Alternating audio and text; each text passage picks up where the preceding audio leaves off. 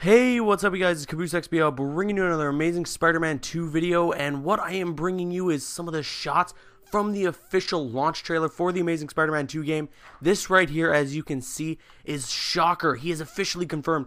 Now, I know a while ago we speculated that there was a little thug that Spider-Man was fighting in one of the pictures that was released, and we speculated that because of the pattern on his jacket and the yellow and the way it was designed, it could have been Shocker. And since then, it has been confirmed that that was Herman Schultz, which is before he becomes the Shocker. That's his alias, right?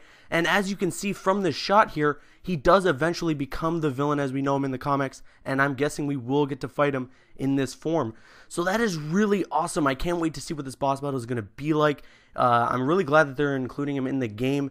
He looks great. The design looks very comic book style while being, you know, sort of this grounded in reality type thing, which they're doing with the Spider-Man movies and the games. So I'm really glad with the design. It looks great. I love the way it looks on the uh, the gloves, and I guess he's like charging up his shot. So that's awesome. And uh, you know, can't wait to see what's uh, what's more to come with this. You know, so the game comes out in like a couple days. So let's get hyped, guys. Tuesday, The Amazing Spider-Man 2 comes out, except for the Xbox One users.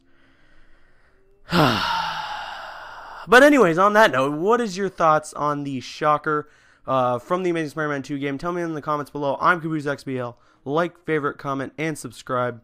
See you guys later.